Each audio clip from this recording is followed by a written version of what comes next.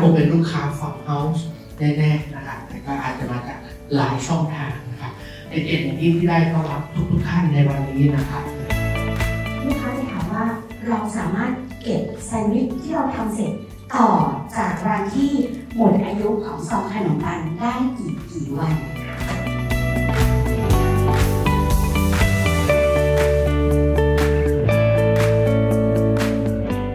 ค่ะ ชื่อเหมียววิชุดาล่าคำแก้วนะคะ เป็นเจ้าของร้าน 232 Factory นะคะ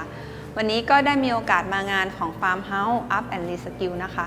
ก็มีโอกาสได้มาแชร์ประสบการณ์ หรือว่าบอกเทคนิคต่างๆ ไม่ว่าจะเป็นการเตรียมของเตรียมผักการมิกซ์ซอสต่างๆนะคะ เพื่อให้พี่ๆเนี่ยที่มีความรู้ในการทำแซนด์วิชอยู่แล้วเนี่ยไปต่อยอดการทำเมนูอื่นๆเพิ่มขึ้นค่ะ ก็อยากจะฝากสำหรับใครที่จะเริ่มต้นขายแซนด์วิชนะคะ ก็สามารถที่จะลงมือแล้วก็ทำได้เลยค่ะแซนด์วิชเนี่ยเป็นเมนูที่ทำง่าย แล้วก็ลงทุนไม่เยอะนะคะ วัตถุดิบก็หาง่ายนะคะ เป็นเมนูที่สามารถทานได้อยู่เรื่อยๆ แล้วก็จะทำขายก็ขายได้เช่นกัน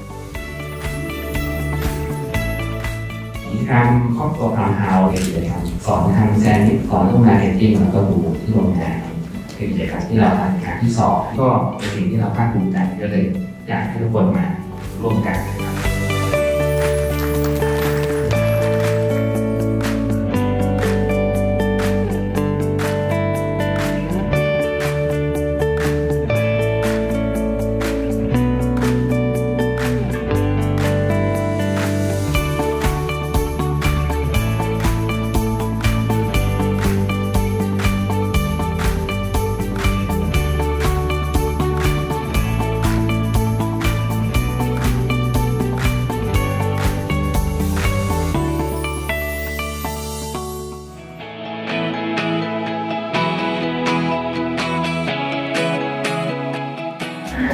เป็นอาหารที่ก็เหมาะ